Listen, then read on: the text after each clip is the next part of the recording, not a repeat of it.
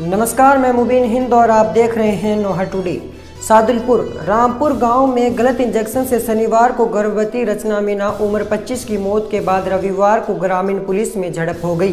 पथराव में थानेदार गुरु भूपेंद्र सिंह, हमीरवास थानेदार सुभाष चंद्र एवं कई पुलिसकर्मी घायल हो गई। एसडीएम की जीप तथा एक एंबुलेंस क्षतिग्रस्त हो गई। पुलिस ने आँसू गैस के गोले दागे लाठियाँ बांधकर भीड़ को तितर बितर किया। घटना में कई ग्रामीण भी घायल हो गए। सूचना पर कलेक्टर प्रदीप गावड़े एसीपी परीश देशमुख मौके पर पहुँचे। गाँव में पुलिस बल तैनात किया गया है। बड़ी संख्या में रविवार सुबह ग्रामीण प्राथमिक स्वास्थ्य केंद्र के सामने धरना स्थल पर जमा हो गई। 10 बजे बसपा नेता मनोज न्यांगली भी पहुँचे तथा अफसरों को बुलाने की मांग की।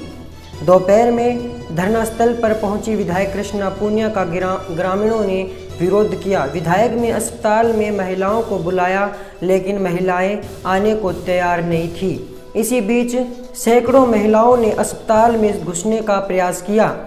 इस पर पुलिस ने भीड़ को नियंत्रित करने के लिए बल प्रयोग किया।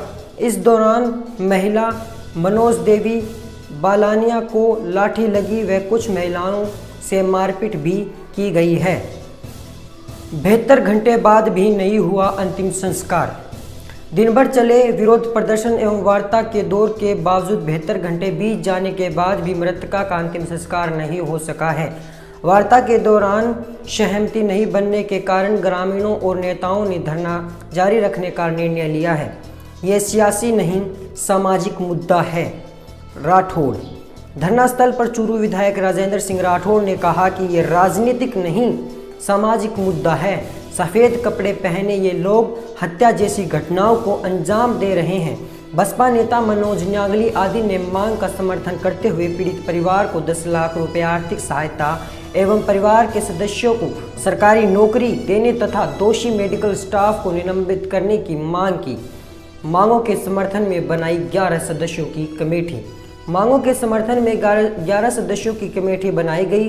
इसमें विधायक राजेंद्र राठौड़ राम सिंह कस्बा मनोज न्यांगली, जिला प्रमुख हरलाल सहारण, गाँव के प्रमुख सात लोग शामिल हैं। सदस्यों की एसीपी कलेक्टर से वार्ता हुई, लेकिन सहमति नहीं बनी।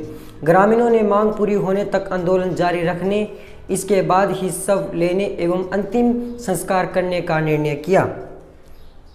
देश की तमाम खबरों से अपडेट रहने के लिए हमारे चैनल नोहर टुडे को सब्सक्राइब कर लीजिए। धन्यवाद।